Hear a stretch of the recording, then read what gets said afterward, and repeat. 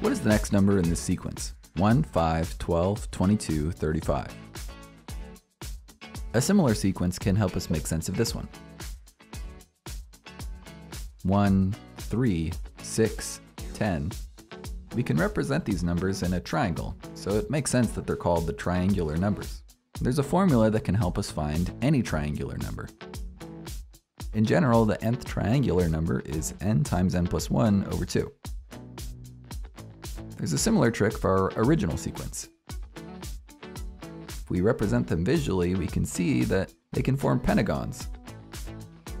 Unsurprisingly, they're called the pentagonal numbers.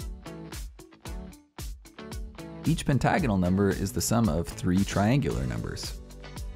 The fifth pentagonal number is composed of the fifth triangular number and the fourth triangular number times 2. We can use the formula from before to find these numbers. Cancel out the 2's on the bottom to simplify things. Then we can add these together to find the answer, 35, which is just what we expected. We can use this pattern to find the next number in the sequence as well, which is the sixth pentagonal number.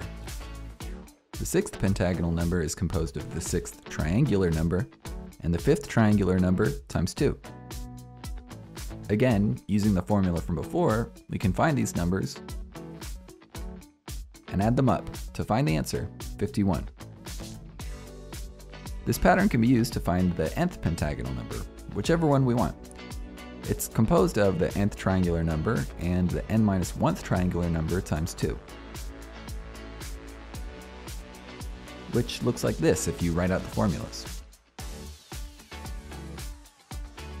Now let's use this pattern to quickly find the 10th pentagonal number. Just substitute the n with 10, and you'll get the answer, 145. Now that we know about pentagonal numbers, we're ready to look at centered hexagonal numbers. These begin with 1, 7, 19, 37. As you might expect, we can visually represent them with hexagons. What is the sixth centered hexagonal number? Triangles are useful here too. Discover more visual tricks at Brilliant.org.